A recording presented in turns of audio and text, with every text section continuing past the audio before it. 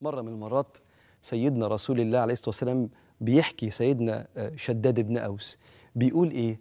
بيقول مرة النبي دخل لقيناه داخل ال- ال- المسجد شايل الحسين كده على كتفه وقام حاطه في القبلة قال الله أكبر وبدأ يصلي وبعدين جه سجد فضل مطول مطول مطول في السجدة حتى ظنناه قبض وبعدين رفع الله أكبر التشهد وسلم. يا رسول الله أنت طولت ده كان بيوحى إليك ولا افتكرناك قبضت روحك قبضت قبضت. قال لا إن ابني هذا على الحسين ارتحلني. شوف الكلمة عملني كأني راحلة. شوف تواضع النبي ارتحلني. فتركته حتى يقضي حاجته. النبي سجد والحسين قاعد طفل قام طالع فوق ظهر النبي كده يلعب. فالنبي سابه لغاية ما يشبع لعب حتى يقضي حاجته. حاجته اللعب يخلص كل اللعب وقام قايم الله أكبر والتشهد وسلم صلى الله عليه وسلم. يا بخت اللي جده النبي عليه الصلاة والسلام.